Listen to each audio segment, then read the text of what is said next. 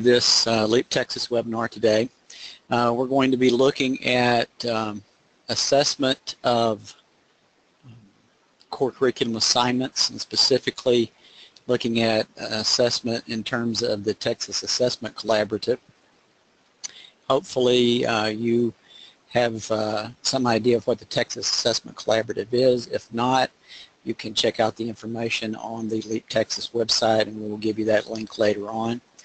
Um, we'll also be talking about some general aspects of uh, designing assignments and we have a couple of guest speakers that are going to participate today to tell us about their experiences with the uh, NILOA charrette that was recently held in New Orleans and share some things they've gleaned from that experience. Uh, our general uh, presenters today are Chris Duke, and Chris is from San Jacinto College. He's the Director of uh, Curriculum and Assessment there. And then I am Larry King. I am the Director of Student Learning and Institutional Assessment at Stephen F. Austin State University. Uh, just some information as we get ready to do the um, webinar. You should be able to see on the right side of your screen a box with information about the GoToMeeting in it. Uh, you will notice at the bottom, toward the bottom of it, there's a place for chat. We will have an opportunity for um, answering questions, and you can type your question in there. Uh, everyone is probably muted at this point. Uh, we will be unmuting some folks as we go through the webinar to um, to do some presentations but uh, by and large, most folks will stay muted. If you have a question while we're going through the webinar, please type it in the box down there and we'll try to answer those as we can get to them.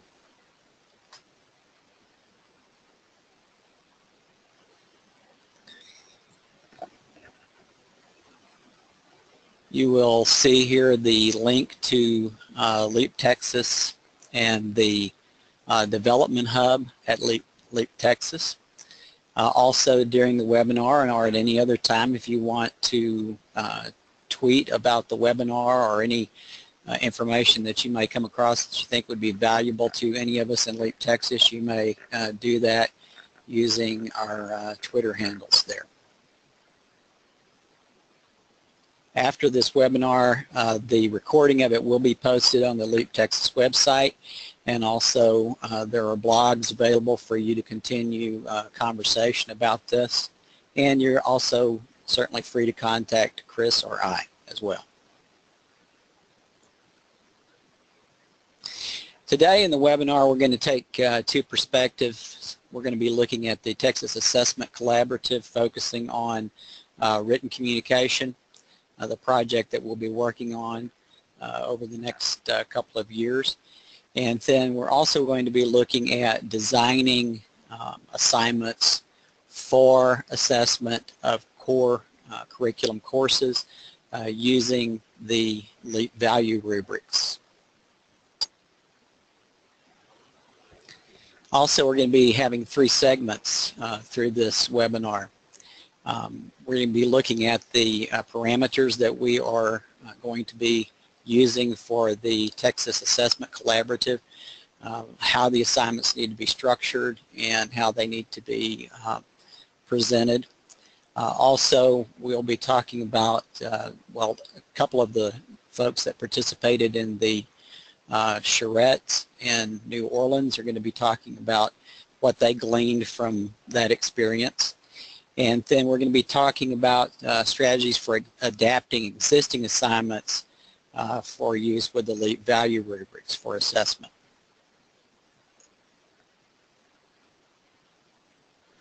Okay, so looking at assignment design uh, from kind of a general perspective, uh, you really kind of want to do this backwards design where you start with the outcome and then work from there to determine, you know, given the outcome that we're looking at, uh, what sort of an assessment method or an assessment instrument do we need uh, to determine whether or not students have attained that outcome?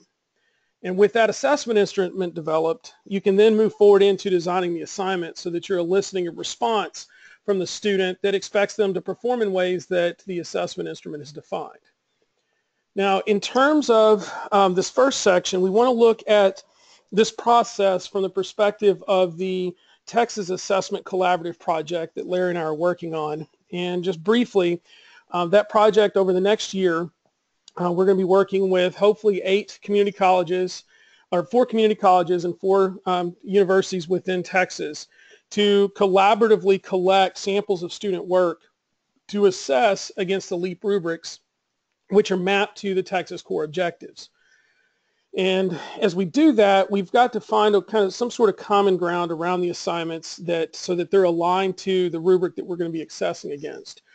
Now, given that project, uh, we already have some elements of this defined. Um, the first piece is that the outcome that we know that we're focusing on is the written portion of the Texas Core Objective for Communication.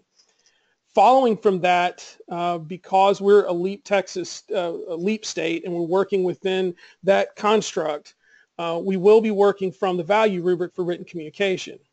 So then that gets us to the point where we need to look at the assignments that the institutions participating in that project will be collecting um, that are mapped so that those are aligned to that value rubric for written communication. So in terms of uh, one of the things we're going to talk about now is some of the specific parameters around assignments um, that we may need in order to um, elicit the response uh, for, for students through all these different assignments. In the last section of, of the webinar, we're going to start talking about specific tools that could be applied for any assignment in any outcome uh, in any rubric. So when you start looking at that uh, assessment method and looking at that rubric and to develop that assignment, the first step is to go back to that rubric and, and spend some time with it, analyzing and understanding uh, each of the criteria. And it's an extremely important process um, for faculty to, to engage because even locally, as we've engaged this process at San Jac over the last four to five years, uh, if, if you look at it just kind of one time and then you start designing the assignment, there it's very, very easy to get away from um, some of the specifications within those different levels um, of each criteria. So we think content development, we start designing the assignment, you've got to keep in mind that not just what content development is a general construct or how you may conceive of what that is, but analyze the rubric and pay very close attention to how does the rubric define each level of performance for content development. Now, for, for this project, what we need to do is kind of define loose parameters around the kinds of assignments that the institutions participating in the assessment collaborative will want to collect. Now, a few notes is that keep in mind we are working at a state multi-institutional level. So the kind of parameters that we're going to be defining are going to be very minimum parameters that are necessary in order to meet the requirements for that written communication rubric. The second thing is the parameters that we're going to talk about are an initial draft parameters. Kind of the role that Larry and I are taking with this project is that we're doing a lot of the groundwork and research to find out, kind of give us an initial starting point. And then our expectation is that the institutions that opt to participate in the project will have input into shaping and forming these. So keep in mind that these are not written in stone. These are kind of a first pass. They're based on our respective institutional experiences, but then also the work that we're watching being done by the multi-state collaborative um, up in the Northeast. The final thing is that as we're going through these parameters, these parameters are mostly agnostic to content in this case because we are talking about parameters around what's necessary to assess uh, written communication against that LEAP value rubric. And so it's very possible to take some of these parameters and apply them at an institutional level because the parameters are enough information. And, and essentially what uh, we have a number of uh, areas within our core curriculum where our departments and our faculty working together to look at the types of assignments uh, to be used for general education outcomes assessment where they have only defined parameters and the, the specific content or the specific topics um, are unspecified because then that allows um, it basically keeps it minimizes the amount of information that's being you know kind of asked or required of faculty So looking at the parameters for uh, the types of assignments that would be needed to, for us to assess student work against the written communication rubric. Uh, in terms of the format, the first, of course, is that it needs to be written. It's written communication. Um, but one of the things around that is the kind of the expected document formats um, that, that we would might expect. And that would, of course, be kind of your Word documents, maybe general Word, uh, word processing documents like the rich text format, format the RTF, uh, maybe some of those saved as PDFs, or even in some cases, uh, just plain text files. The, it, that would exclude um, other types of formats, including uh, scan documents or scan multiple choice exams, or perhaps other modalities or formats um, for like uh, JPEGs or GIFs or images or PowerPoints or things like that that may constrain um, constrain what how the student is writing or how much written information they may provide. And then some of it too may be a logistical issue for the evaluators, and this is thinking farther down the road, is that um, oftentimes we have, um, there, there may be needs or times where we need to check um, and look at what a student's written and do a quick search and stuff. And if that's in a JPEG or a GIF or a static format where we can't kind of get to the text and copy and paste, it may inhibit some of the things that our evaluators might want to be able to do as they're assessing a student document. Um, the last thing is, and again, this is a, a kind of a focus on what we'll be asking the participating institutions to do around this project, is that we will be looking for typewritten work uh, rather than scanned handwriting. Uh, it's just there's a lot of complications when you get into um, trying to scan documents and scanning them into, into JPEGs or GIFs and how visible and readable they are whenever they reach the evaluators. Now, turning to the rubric itself, in looking at that criterion around content development, um, generally we're going to start in terms of a length of assignment that we're going to be looking for is a minimum of 750 words or roughly three pages up to a maximum of 2,500 words or roughly 10 pages. Uh, the reason for that is an initial idea that if students are going to demonstrate um, their ability to develop content, they, that's probably going to require a, a minimum number of, of pages. Uh, there's two things that uh, kind of inform that. Uh, one is we've seen this type of parameter from the multi-state collaborative. So as they have assessed, I think last year, and I know they're assessing written communication this year, this is one of the requirements that they ask for the types of assignments that are submitted to that collaborative project um, because it, it, it helps ensure that there's enough writing there for evaluators to assess. That's the first thing that informs it and suggests that this it would be useful and helpful in, in listing that type of response. The second thing is that some of our institutional experiences, I know at San Jacinto College, uh, we, we started out around the written communication, the parameter that there needed to be enough writing for appropriate development. And that's the only thing that we specified because there's this very careful line that we're trying to navigate is that we do need to specify parameters so that we can assess against these rubrics. Because if you don't ask the right questions and you don't ask students to do things, then they don't necessarily do them. And so we need to specify those parameters, but we don't want to ask too much or specify too much. So when we started out, we that's all we said was that we just there needs to be enough writing for appropriate development.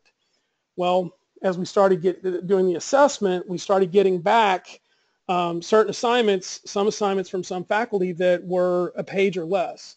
And our faculty evaluators' response to that was that there is just not enough material there for me to determine adequately whether or not the student can develop content.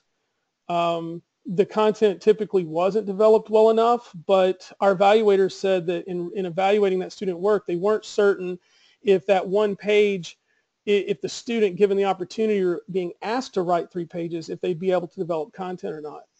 And they felt that if students had been asked to write three pages, that they would have a more reliable assessment of that individual student's ability to develop content. And so that's kind of where these parameters are coming from, again, from kind of our the, things that we've observed within the multi-state collaborative, but then also um, some of our institutional experiences.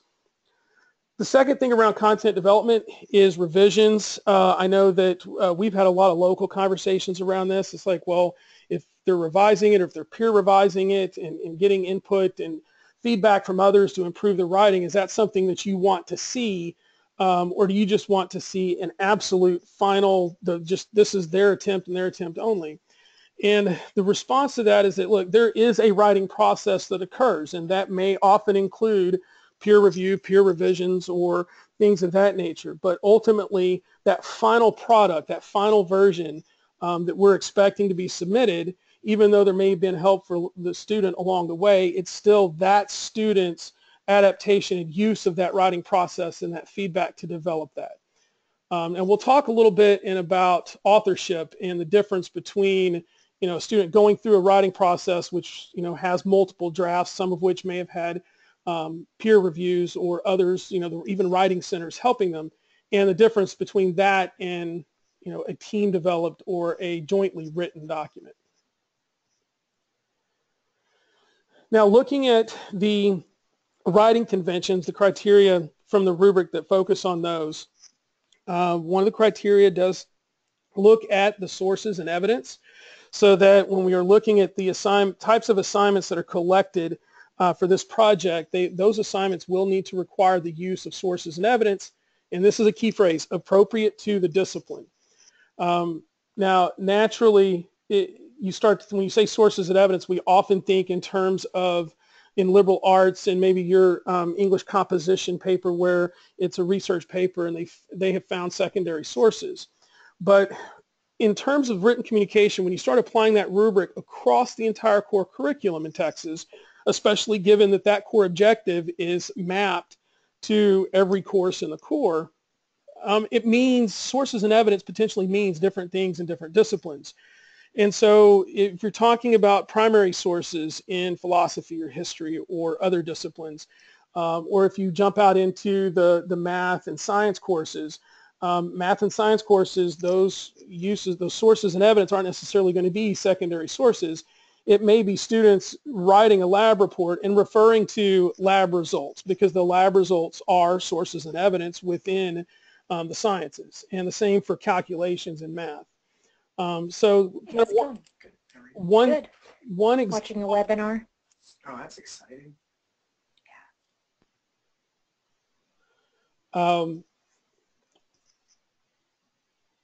and so when you're talking about sources and evidence over in math, one example of an assignment I've seen is that um, faculty in an algebra class had given students uh, said, you know, here's here's the formula for three how the salaries are calculated at three different jobs. Um, complete the calculations and then make an argument as to which is the best job. Well, as the student interacts and, and starts writing uh, against that assignment, their sources and evidence, if they're not referring to their calculations in their writing, then they're not using sources and evidence appropriate to math as a discipline. The second thing around the writing conventions is very similar to that, and that starts looking at conventions that are specific to the discipline regarding organization, development, um, how they're using or citing references. Um, locally, uh, we at San Jac, we have looked at, this is where we start incorporating uh, some of the discipline-specific methods for citing sources, whether you're talking about MLA or Chicago or, you know, all the different versions, parentheticals and footnotes and stuff like that. But it's also when you have uh, written communication that's in a specific style or in a specific format, um, especially if you get over into fields with technical writing, uh, it would be good to have assignments that reflect and require those disciplinary conventions. So lab reports within the sciences and stuff, those have a very definitive kind of format and expectations within the discipline. And so requiring those things in this type of an assignment um, helps to attend to that, that criteria for disciplinary conventions. Um, that's opposed to trying to over-adapt and say, well, in the science class, I just want students to write, you know, a, a, a three-page essay. Well, that's not necessarily the writing that you always do in science. You typically do things that are more technical in nature. And it's okay and actually encouraged to do the things that are more technical in nature because that's the type of written communication that's appropriate to that discipline. The last criterion on the rubric is we start, remember, we're analyzing that rubric to consider what types of things we need to ask students to do in the assignments um, so that we can assess against this rubric. The last one is syntax and grammar. And the only comment there is that in some of the assignments in the various disciplines, especially those outside of um, maybe the liberal arts or especially the, the English communications, those English 1301 and 1302 courses, we may need to emphasize um, students uh, attending to their use of syntax and grammar. I know that, um, you know, I've seen mention of that through the multi-state collaborative, I believe, and then I also know that we have had a lot of conversations uh, locally around how much our math courses, our science courses, and um, are emphasizing the, the syntax and grammar in some of these written assignments.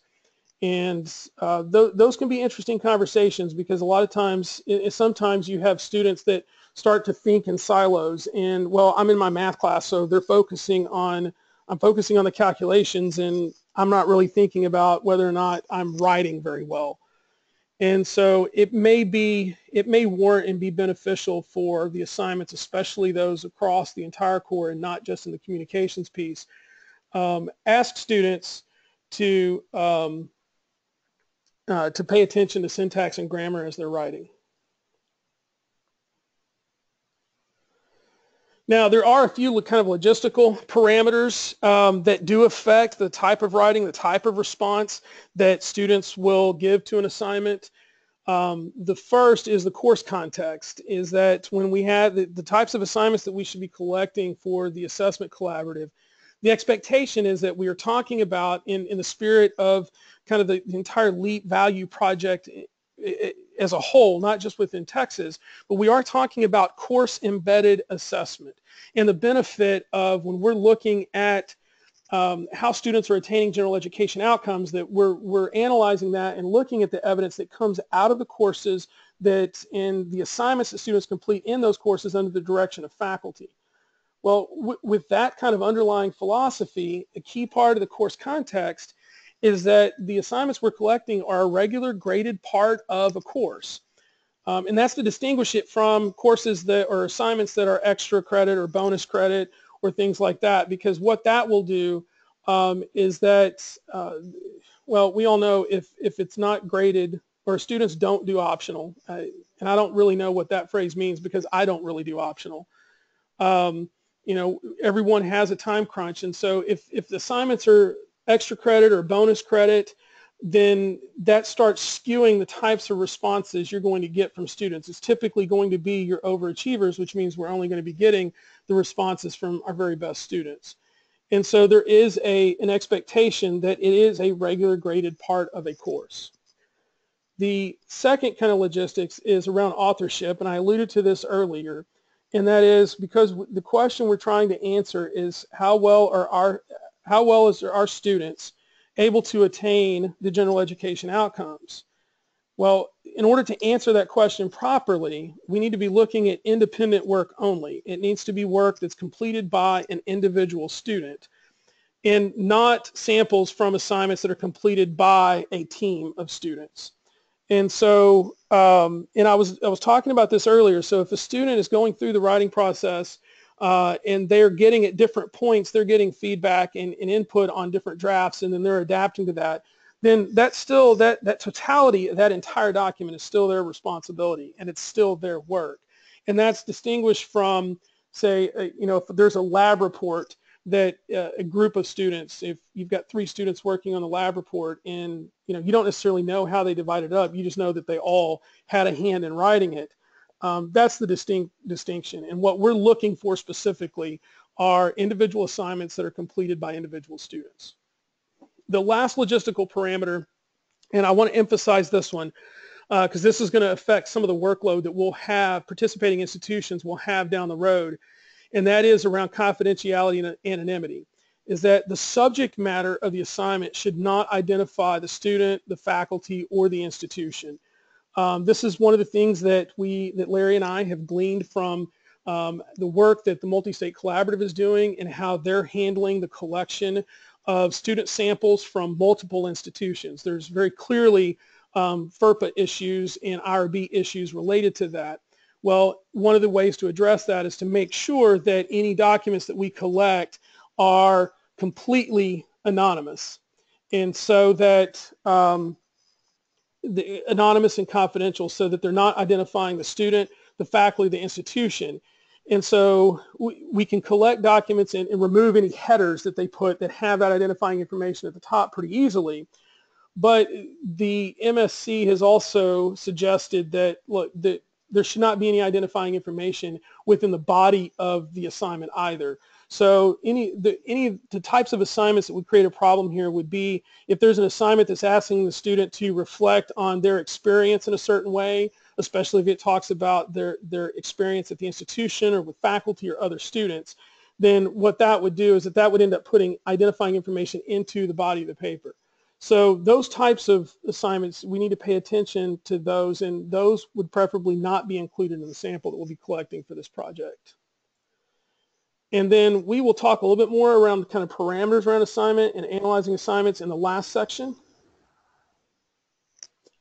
And but now we have a couple of guest speakers.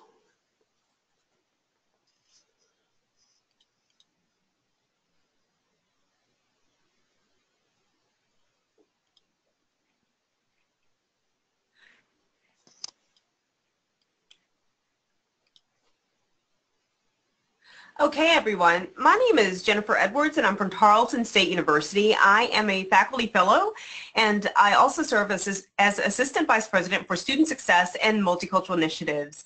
And I'm very proud to serve as a faculty fellow for Leap Texas.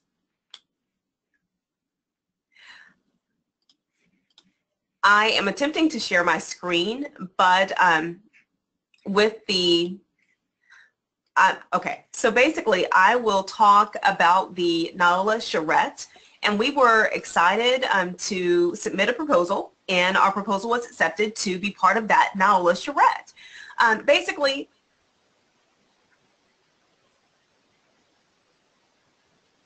okay, please let me know if you can see my screen. Yes. Awesome.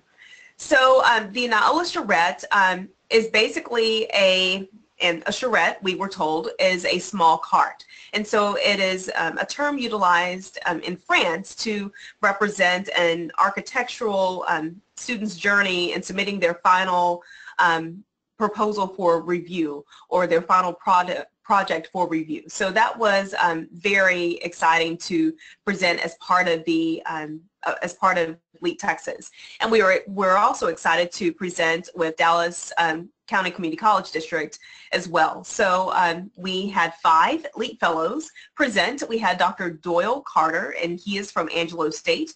We had Dr. Maureen Armo um, Cuevas. She is from Our Lady of the Lake University. We had me, of course, and then we also had Dr. Lana Jackson and um, Dr. Terry DePaulo.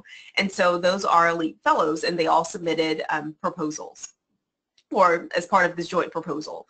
Now the charrette submission, um, we submitted assignments that focused on the first year seminar and so that was something that we all had in common. And as you can see, we um, all represent four-year institutions, some public, some private, some two-year institutions as well. And so um, this was a commonality amongst all of the Leap Texas fellows.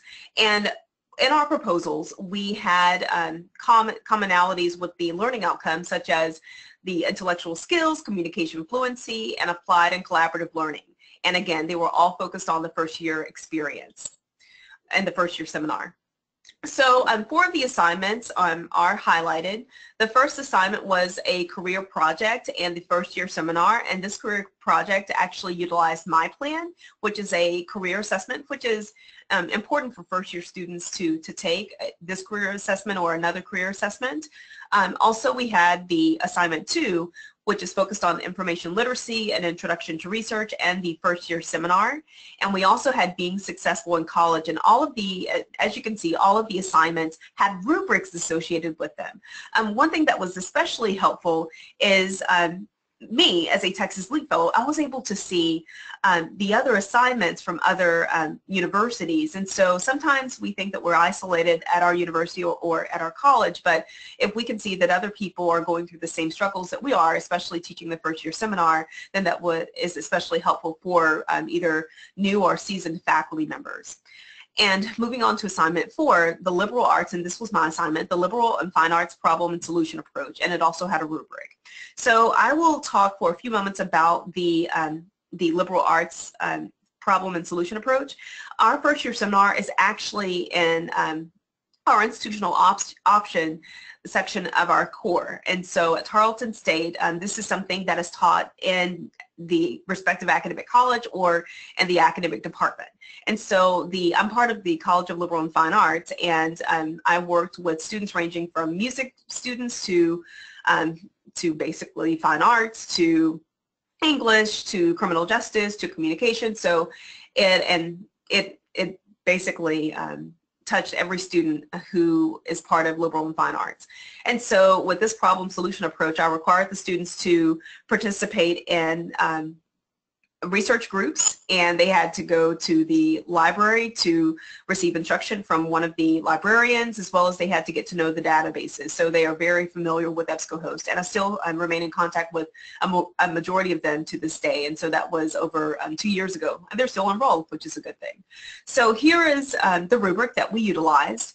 This is um, also the rubric that I put as part or I included as part of the charrette proposal for my piece. But um, basically you had the background of the problem, you had the full explanation of the problem at Tarleton, you had the College of Liberal and Fine Arts Solution, or COLFA, you had the potential benefits and negative impacts of implementation, and then you had the informal responses. And so all of those um, were included on the rubric. And so the rubric ranged from, on a Likert scale, from did not attempt to exceeded professors' expectations. And um, one thing that was especially helpful um, as part of the charrette is that we basically um, we were we were part of a, a roundtable approach, and so each group um, and each university, and we were the only one, we were the only um, table that focused on a multi-university approach. So we were especially excited about that.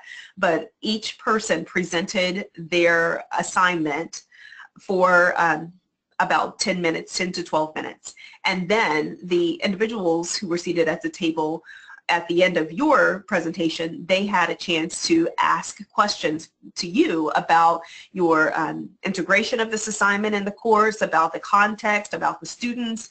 So it was very eye-opening. And so um, this was a, I'll have to admit, this was one of the most um, my most vulnerable points as a faculty member because um, usually people do not um, you know, critique assignments that you give to students, but this was a great opportunity to critique and also to be critiqued. And so um, I had a high level of um, vulnerability.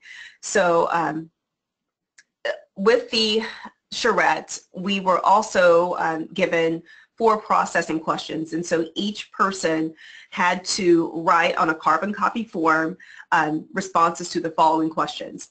What were the main strengths of the assignment for assessing the specified DQP proficiencies? And the D DQP proficiencies, which I was excited to see that those coincide with our THECB, our Texas Higher Education Coordinating Board, and student learning outcomes for the core. Also thinking, the second question is thinking about the assignment from the point of view of students, what questions or suggestions do you have for the presenter?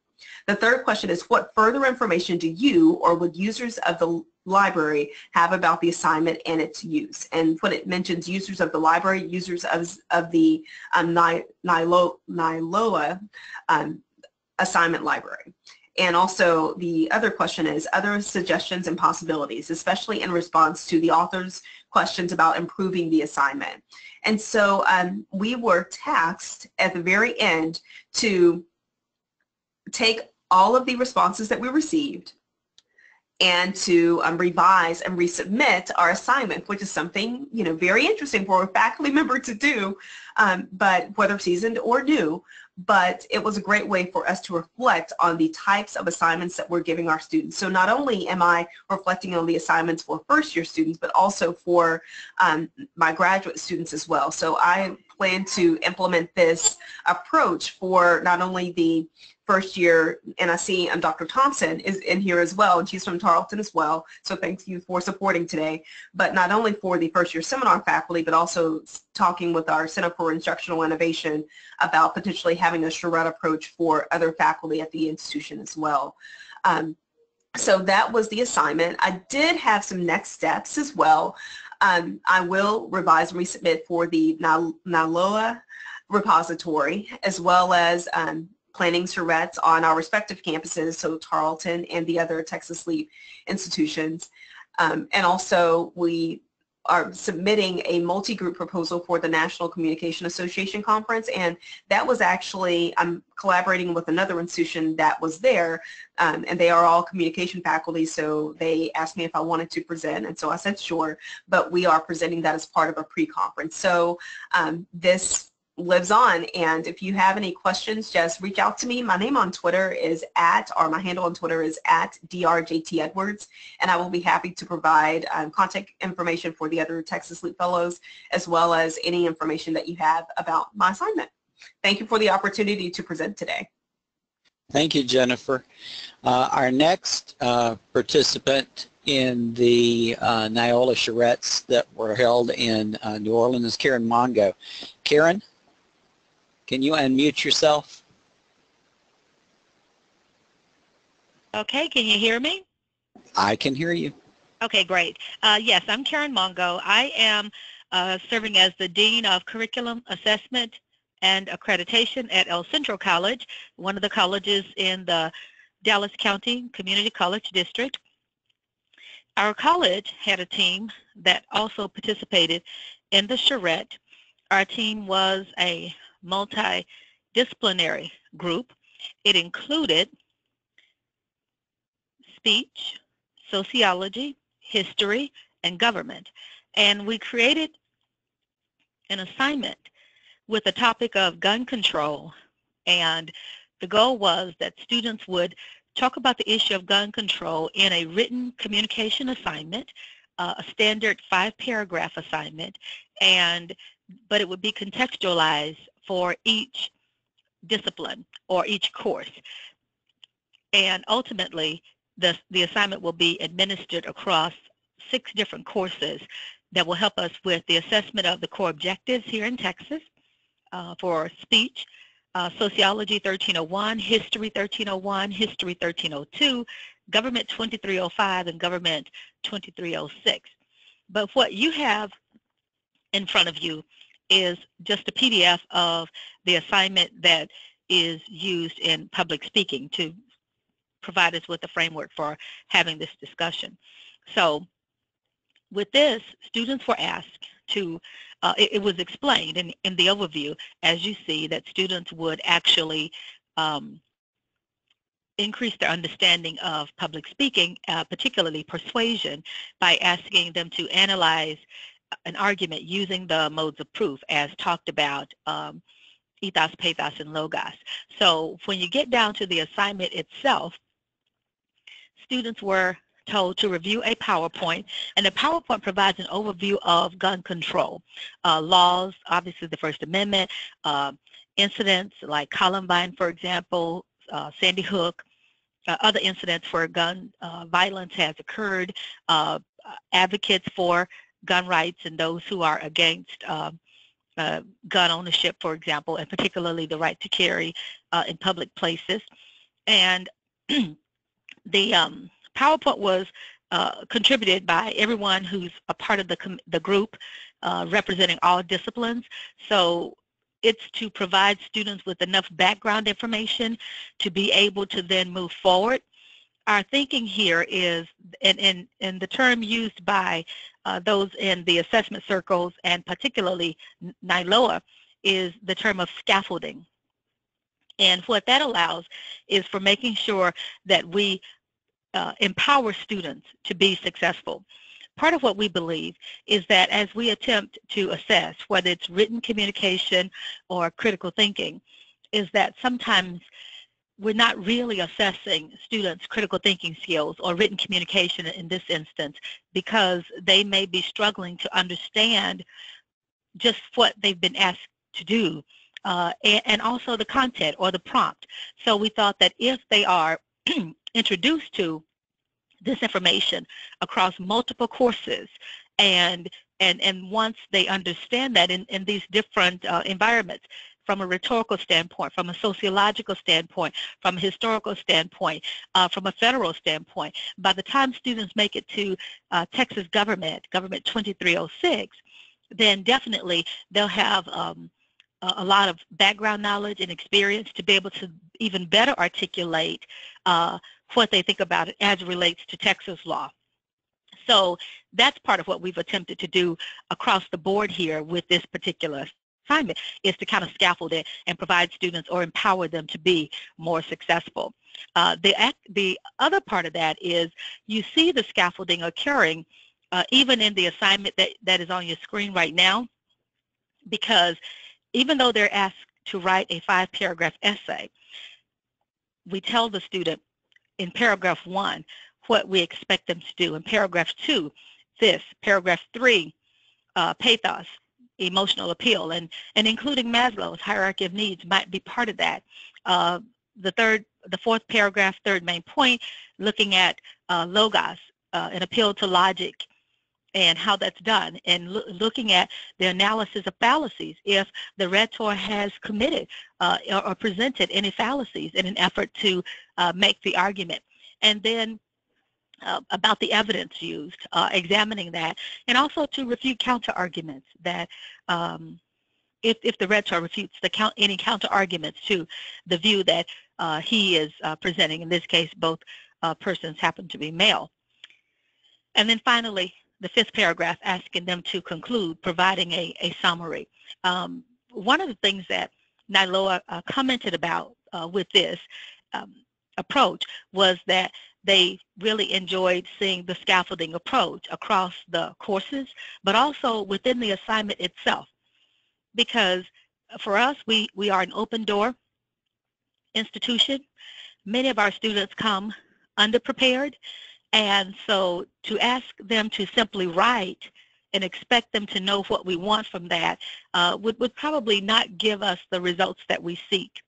We have had a number of conversations with folks about uh, how to do this. There are those that definitely believe that, well, you tell them to write, they should know how to do it, and if I'm doing too much, am I spoon-feeding them? And um, the, the, our, our position ultimately is it's not spoon feeding. It's providing them with the tools in order to be successful. So we, we, we embraced the scaffolding approach, as you see. It's one of the things that uh, we were complimented for as we presented this information. And so that's part of how we present all of the assignments to the students by asking, by telling them exactly what we hope to get.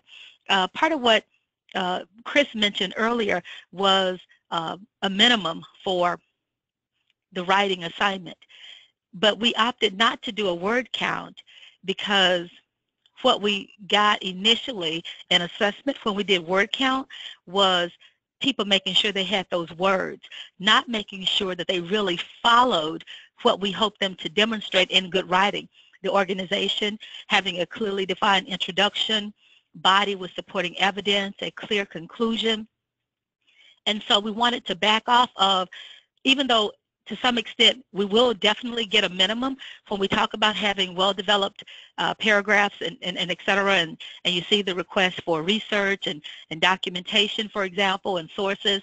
So we think that we'll get the minimum, but we, we decided not to do the word count because students will actually do word count and they think that if they have those words that somehow they have met some degree of success. So we wanted to take the focus off of that and so we don't do a word count but we do put in the criteria here that we hope that they would meet in terms of the organization, in terms of the support, in terms of the sources. Um, and in this case, students have access to the PowerPoint, uh, the textbook, of course, where these concepts are discussed. They have access to the speeches that they've been asked to review, and then they're asked to actually uh, cite three other sources, journals, newspapers, or magazines. And they cannot be Wikipedia or encyclopedias, um, and they're asked to use, a, use primary sources for this. And uh, those were some of the things that we were in agreement on, uh, particularly because one of the learning outcomes for the history courses, it has uh, specifically states uh, primary sources. If we look at the SLOs, in the ACGM, they talk about use of primary sources. And so we thought if we'd be consistent with that, students would get used to that. So by the time they take history or the government, then definitely they would it will be real clear what, what we mean by primary sources versus secondary sources, um, so on and so forth. And so that's the gist of what the assignment looks like. Um, and again, the feedback that we got was uh, an appreciation for uh, a really having a, a, formulaic approach to the assignment design. Also uh, uh, making sure we were attempting to scaffold the, the, the information for the students across courses and particularly within an assignment itself. So um, our goal is to further refine our work and uh, hopefully uh, fully implement this assessment in the fall semester. Thank you, Karen. We appreciate you sharing with us. All right. Okay, um, and so we want to turn and look in this last segment, and I want to be sure to try to leave at least five to seven minutes for questions at the end. Uh, is looking at uh, an assignment design strategy in, in terms of redesigning existing assignments for institutions that are looking to begin working with um, kind of LEAP-based assessment using the value rubrics. Uh, and again, kind of going back to that intentional design I mentioned at the outset is that, you know, starting with the outcome and moving to the assessment instrument and then to the assignment, again, it, it doesn't matter which institution um, in the state that we're talking about, you, we have some of those things defined. We have the Texas core objectives that define those outcomes. Um, if you are or looking to begin assessing against the value rubrics, then the focus of the conversation at that at these at your institution is going to be on that section is and that is that intersection between the value rubric and the assignment. And so in looking back, um, San Jacinto College, we've been doing kind of the LEAP-based assessment. I think we're in our fourth or fifth year. And we've started looking at, at a tool that I think that it's one of those things that if we had known then what we know now, um, it would have been extremely helpful in moving us along in this LEAP-based assessment. And so going back to the idea of analyzing the rubric, how do we focus within that that alignment? Uh, and the beauty of this is that in using LEAP-based assessments, we don't have to recreate the wheel. We don't have to create something new. We have written communication assignments across the core. The question is, is that are, are those written assignments structured such that it's eliciting a response from students so that they're performing in a way that the LEAP value rubric expects? And so one of the tools that we're looking at doing in using is we're referring to it as an alignment worksheet. And it's not anything complex. It's very simple, very straightforward. It's essentially a one-page document, or it starts out at that at least. And that is um, taking the assignment and taking the rubric, and any faculty in any course in any area of the core can do this. And that is take the, the rubric and the assignment side by side, and then with this alignment worksheet, Analyze the assignment. Describe how does the assignment require the student to attend to context of and purpose for writing. Now, one of the things that I mentioned earlier that's extremely important as faculty are doing this is to pay attention to all four levels of and analyze all four levels of that criterion. Um, we have had instances where, um, you know, faculty, when they've looked at context of of and purpose for writing or content development, maybe they've maybe focused on level two or level three. And we've had some faculty in our focus groups have commented say, well, you know, our assignments are aligned pretty well, but some of the things that we're asking them are maybe not quite expecting enough. We're not really asking them to do as much as they possibly could so that maybe the assignment inhibits the student, that it asks the questions in a way that the student at best is going to perform at a level two or at best is going to perform at a level three. Whereas if we take and go through this process of looking at the assignment and comparing it to all different levels of each criterion and, des- and describing in this worksheet exactly how the assignment expects the student to perform, then it might start opening up some things and for students to, to perform better uh, against the LEAP value rubrics on that particular assignment. And again, it's not anything very sophisticated or complex. It's just one of those things that again, if we had known then what we know now, um, this tool, providing this tool to faculty at the outset of trying to adapt existing assignments to the rubrics probably would have improved um, our alignment between the assignment and the rubric um, a great deal. And of course, it's a little bit longer document. This is this is the actual full text of the document that we're uh, beginning to use around written communication. Um, you know, we have groups of faculty that are working for, um, you know, that teach a particular course that are working together on an assignment.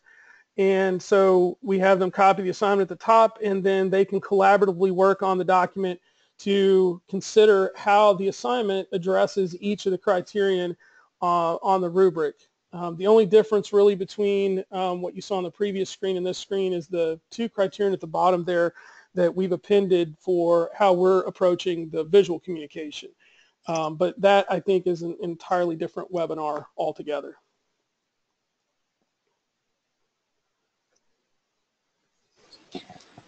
Okay, what are the next steps?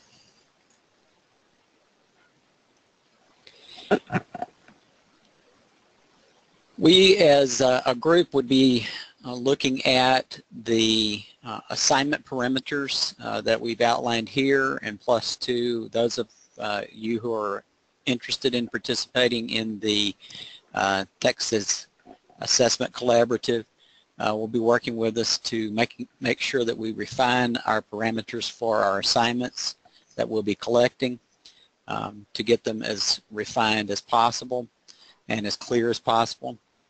Um, then we will, by the end of the spring semester, finalize those assignment parameters and have them ready for everyone who uh, wishes to participate in the, in the process. If you're interested in the Texas Assessment Collaborative or any of the other things that you heard about today, uh, like GEMS, uh, you probably are familiar with HIPS already, uh, DQP and tuning. There are resources available at the LEAP Texas uh, website. Uh, you can go there and if you click on the Development Hub, you will find information on all of those uh, projects uh, there. Also, there's information at the NILOA website. If you're interested in looking at assignments that NILOA has worked on with faculty and developed uh, over time through the charrette process. You can find those assignments in the NILOA assignment library. All right, questions and answers. Um, again, if you have a question that you need to ask, you can just type it in the box down at the bottom. You could probably also unmute yourself and ask a question as well. We did have one question that came in that asked the question, in terms of independent work, would peer-reviewed essays not meet the individual authorship requirement? Um, my response to that was uh, if they are peer-reviewed, reviewed by other students, but they are individually authored, then they should meet the uh, requirement of being individual authors. Uh, Chris, would you agree with that? Yeah, and I, I had alluded to that earlier, and I think I'd answered, but I think it went through as a private response, is that the peer review work does not, I don't think, present an, an issue for authorship because that's that peer review is part of the writing process. And ultimately, that individual student is still responsible and is considered the sole author of that final document. That's, I don't think that presents an issue at all. That's very different from the documents that would be a concern, and that would be documents in which different sections were written by different students. Any other questions? Chris, you might open it up so that folks, if they want to talk, could. Uh, let's see. I think, I don't think I have it tied down. Okay, so if you want to unmute yourself and um, ask a question, you could do that. Or if you want to type one in at the bottom, you can do that also. Yeah, and while we're waiting on a question to come in, I'll add um, real quick. Karen was talking about the that speech assignment that they had developed. Um, with when we talk about the length of the documents, I, we're not with those parameters. We're not suggesting that to participate in the Texas Assessment Collaborative, that if you're collecting a document or an assignment, it has to be from an assignment where the student was told you have to write 750 words or three pages. Um, I think Karen uh, addressed it perfectly. Is that look, they've designed that assignment such that they would expect that the student is going to write at least three pages. That's all that's needed in terms of the parameters. Um, the issue that we were running into and have run into, uh, I, I think the concern is where um, if the assignment's designed such the student's going to write one page, those are the types of assignments that we don't want. I don't think you necessarily have to say, tell students, oh, write this much, but not this much. Um, I, that, I agree with you, Chris. This is Karen again, Mhm. and and and we've had the same e- experience, and you and I uh, operate uh, similarly at our institutions. Uh, we've had it where you know people turn in a few lines for an assessment piece, and obviously that doesn't work. So you do think of the minimum, but uh, also uh, as a faculty member, and I'm sure many of you who have taught, you've probably had this experience where students, you tell them something and then they'll do a word count and somehow they become preoccupied with, I got to get these, these many words, these many words, you know, or this length, right? As opposed to we really need you to focus on the development part of it, not just that. And, and, and I think that if we can get students trained with the development part of the work, that we'll, we will meet our word count also with faculty because faculty, you know, and particularly those who are not used to teaching writing, some of them have struggled with, well, how am I supposed to have them do this in the context of this particular course, right? And if we can get them to thinking about, well, you still want them to have a well-developed, in this case, we're talking about an essay, but even if it's a full research paper or, or what have you, you want to try to get people and reminding them, really reminding them of what we already know they've been exposed to. We know that they've already been exposed to, you know, the opening paragraph and the mighty middle and all that stuff since what third grade. and, and so sometimes you just have to go back and, and remind them to do it. So that was our only only thing there. I do totally agree with you, Chris, but I wasn't saying it um, in, in any any in any other way other than recognizing that for for us even for some of our students, when we give them the word count or the pages, that becomes their preoccupation, and as opposed to the focus on the, you know, format and technique and organization and development, all those things that are really important to writing as well. no, absolutely. Thank you. Um, are there any other questions?